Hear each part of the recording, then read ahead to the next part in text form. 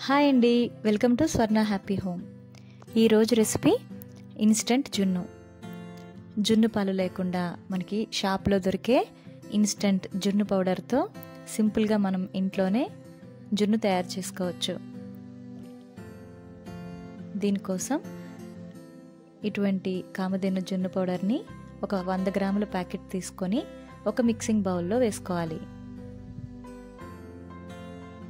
దీనిలో ఒక కప్పు వరకు తురిమిన బెల్లం చిటికెడు పసుపు పావు టీ స్పూన్ యాలకుల పొడి వేసి దీనిలో రెండు కప్పుల వరకు పచ్చిపాలు వేసుకోవాలి. ఇక్కడ నేను ప్యాకెట్ పాలు తీసుకున్నాను.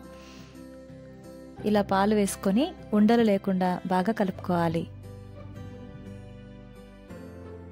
ఇలా బాగా కలుపుకున్నాక బెల్లంలో ఏవైనా నలకలు ఉంటాయి కాబట్టి ఒకసారి వడకట్టుకోవాలి. మనం ఏ గిన్నెలో అయితే జున్ను చేయాలి అనుకుంటున్నామో ఆ గిన్నెలోకి మనం కలుపుకున్న ఈ పాలని వడకట్టుకోవాలి.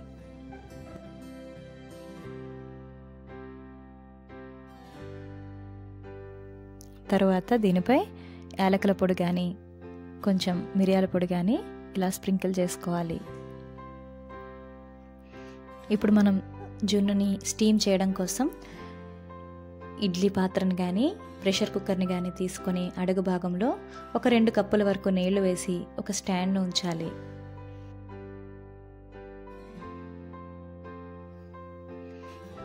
ఈ పాలగిన్నెని కుక్కర్లో ఉంచి దానిపై ఏదైనా మూతతో కవర్ చేసుకోవాలి. తర్వాత ఈ కుక్కర్ని క్లోజ్ చేసి ఇరవై ఐదు నుంచి ముప్పై నిమిషాల పాటు మీడియం హీట్ మీద స్టీమ్ చేసుకోవాలి.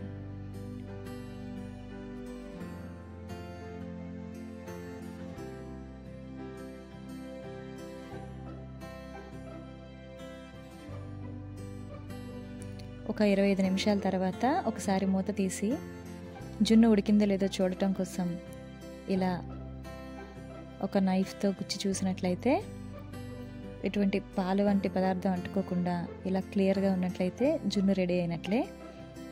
ఇప్పుడు జున్నుని బయటికి తీసి పూర్తిగా చల్లారనివ్వాలి. మనం ఇలా కుక్కర్లోంచి తీసిన వెంటనే కొంచెం సాఫ్ట్గా ఉంటుంది కానీ ఫ్రిడ్జ్లో కనీసం మూడు నుంచి నాలుగు గంటల పాటు ఉంచినట్లయితే ఇలా హార్డ్గా చిక్కబడుతుంది.